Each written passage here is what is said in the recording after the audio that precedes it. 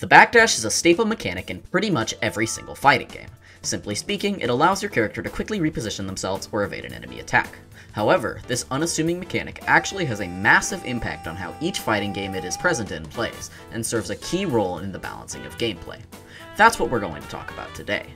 We're going to discuss what balancing levers different games pull by making the backdash weaker or stronger, and how that affects the game flow of said title.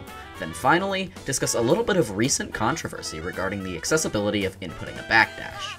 So sit back, double tap the recline button, and take a look at how much such a small mechanic can actually change. First of all, let's define what a backdash is. Simply speaking, it's a tool that allows your character a quick burst movement option in the backwards direction to reposition. The general rule of a backdash is that it has to move your character back in some capacity, but everything else is up to the developers. Oftentimes, the speed and distance of the backdash is different between character to character even inside of the same game, which has an important impact on how strong or weak that character's backdash, and by extension, the character as a whole is. A quick backdash is very desirable because it allows access to the burst movement option without risking a substantial punish that might end up hitting the recovery of a slower backdash, allowing it to be used as a defensive escape tool in neutral. Additionally, a faster backdash will allow for you to take more turns from your opponent if you backdash a button, and in some cases even allow you to punish an attack on whiff you otherwise couldn't have. The distance of a backdash is another big factor as to how strong or weak a backdash is, however a large distance can be both a blessing or a curse. Extra distance traveled can be valuable when trying to escape from an opponent and reset neutral, or get out of the way of a larger button, but at the same time, a backdash putting you far away from the opponent lowers the chance that you might be able to force a positive interaction after creating a whiff. Oftentimes larger backdashes tend to have longer duration as well, further emphasizing that problem.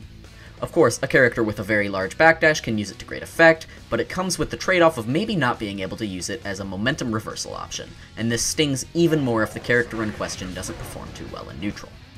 Once again, these levers can be pulled to balance between characters in the same game, but many games also have universal traits that make their backdash weaker or stronger. Of course, a game can trend toward having a higher number of either fast or long distance backdashes, but there are a number of other things games can do to balance the backdash further. A less looked upon but very impactful balancing factor is the combo state after getting hit out of a backdash. Oftentimes, backdashes are airborne, but some games make sure their backdashes have a unique airborne hit state to stop massive punishes from working on backdashes. This often comes in the form of a forced tech or flip out, letting the backdash still retain some of its utility if it's caught, and even sometimes creating a punish opportunity when hit by a long recovery button. Street Fighter and Samurai Shodown have backdashes that force techs when hit out of them. DNF Duel's backdashes on punish net the opponent a full combo on hit, so it can be extremely risky to backdash even from a long distance away in that game. A combination of all of these things is how games tend to balance their backdashes, and in turn, the backdashes balance offensive options in said game. If your game has long distance backdashes with no invulnerability, characters with long range normals may end up being stronger than they would have otherwise. If your game has lots of invulnerability on backdashes, characters with quick recovery buttons or long active frame buttons may benefit from the ability to option select backdashes or be entirely safe to them while running pressure. If your game has backdashes that let your opponent tech out early into an attack, high damage, high recovery buttons gain a significant risk they wouldn't have otherwise. All of these things serve a very important role in the balancing ecosystem of a fighting game, and changing one thing about a backdash can end up having a cascading effect on the balance of the entire game.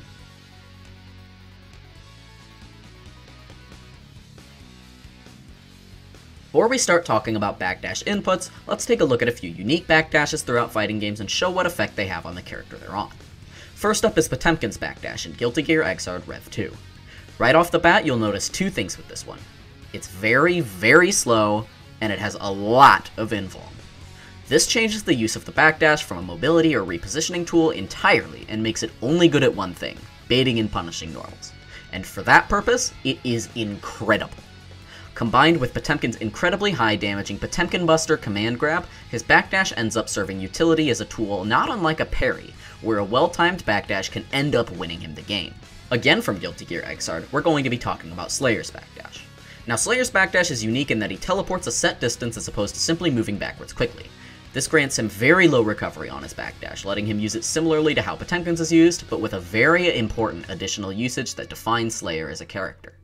During the disappearing frames of the backdash, Slayer can cancel the backdash into any other move, such as a jump or attack. This is called a BDC, and it's maybe the scariest reversal option in the game. Not only is Slayer able to punish more attacks with his backdash than any other character in the game, he can do so nearly without risk, as the invuln from the backdash carries over into the state he cancels into, meaning an attack like Mappa Hunch cannot be interrupted before it comes in contact with the player, and if Slayer cancels his backdash into a jump, he gets an invulnerable escape option to take him out of the corner or risky position. Lastly, I want to bring up Seth from Uni. Seth has a very unique backdash thanks to the fact that it contextualizes a key trait of backdashes in a unique and impactful way. Remember how I said most backdashes are airborne, then touch down at the end of the dash? Well, Seth's actually recovers high up into the air, meaning his backdash can be used to hop back, then above certain attacks, and dive down with an attack on an unsuspecting opponent. This complements Seth's offensive playstyle and allows him to mix up his mobility in unique and threatening ways, as he can choose to also stay grounded by holding down back during the dash, meaning the opponent has to guess where he's going to go and respond appropriately. Now let's talk about something juicy the input.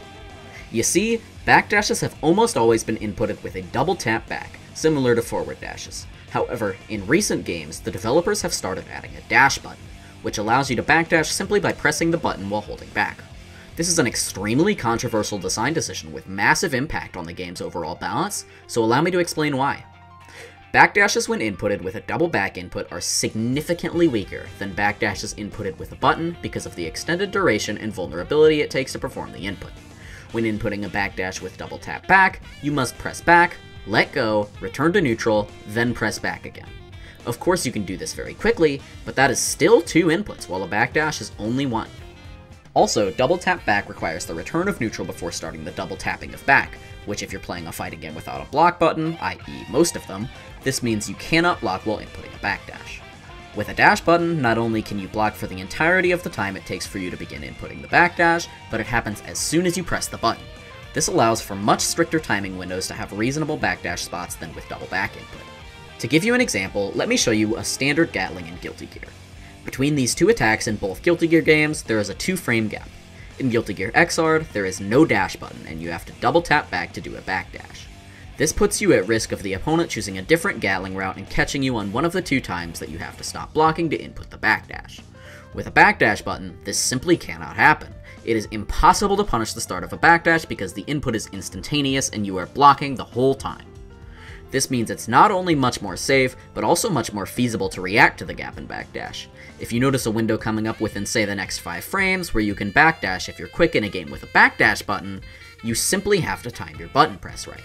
For a game without one, the process is much more complicated. Once you see the backdash window coming up, you need to preemptively return to neutral, quickly flick back, go back to neutral, then flip back again in perfect timing with the gap, activating the backdash in timing with the backdash window, and executing the backdash successfully. This is much, much harder for reasons I'd expect you to understand already, but let's go over it one more time. With the first example, not only can you react later, but you don't have the added challenge of having to remember how long it takes for the window to appear and start buffering the backdash so that it finishes right as the window to escape occurs. You can simply just press the button when you see the window of opportunity. If you're too early on example 1, you'll just not get the backdash if you're in block zone and continue to block the opponent's strength. In example 2, you can get hit at neutral if you input it too early and get punished. Too late is the same as well. If you do the backdash later than you had to do in example 1, you're more likely still blocking it, and that's okay. But with example 2, since you've stopped blocking briefly to input the backdash, you can end up taking some serious damage. All of these factors add weaknesses to the backdash that completely go away if a dash button is added, and doing so can end up shifting the game balance in a dangerous direction. However, let's stop playing devil's advocate for a second and talk about the upsides to having a dash macro in your game. First and foremost, the accessibility.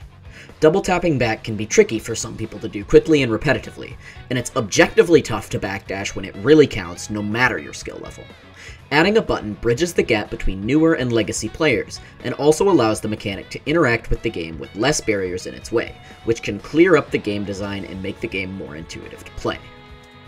For example, in a situation where there is a small backdashable gap in a game without a backdash button, sometimes you have to ask the question, is it reasonable or worth it to try to backdash here?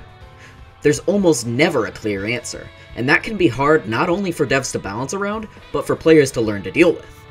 With a button, these situations can be a lot more analog and developers can balance relying on the fact that players have the ability to escape and don't have to worry as much as a result. Not only does the dash button bridge the gap between casual and competitive player bases, but it's also an elegant answer to controller differences between players. If you're playing on a fight stick, you'll likely have more trouble inputting a backdash than a player on pad or hitbox because the action of moving a lever back, forward, then back again is slower than simply pressing the back button twice. With a dash button, backdash becomes a technique that stands on equal footing so long as your controller has a button, which, unless you're playing on your Samsung Smart Fridge, it probably does. Backdash on a button also lets the player feel more in control of their movement due to the more analog input and response, and better game feedback is always a good thing. As you can see, a dash button can end up benefiting fighting games a lot when present, but remember, tacking one onto an existing game is a dangerous and potentially destructive decision. When a game is designed without a dash button in mind, adding one increases the strength of defensive backdashes in a way that can end up being super toxic to the overall game experience. Remember when we discussed Slayer's ability to backdash through attacks, then cancel into a counterattack or movement option? Imagine if every time an opportunity to backdash arose, he simply just had to press a button and would nail this reversal every single time instead of having to risk the long input of a backdash and risk messing up and getting hit. I'm sure a world like that would shake the hearts of even the bravest souls. Hopefully this video helped you realize the vast importance of this fighting game mechanic that for some reason often goes under the radar when it comes to fighting game balance discussion. For now though, that's all. This has been Eddventure, and I hope to see you in the next one.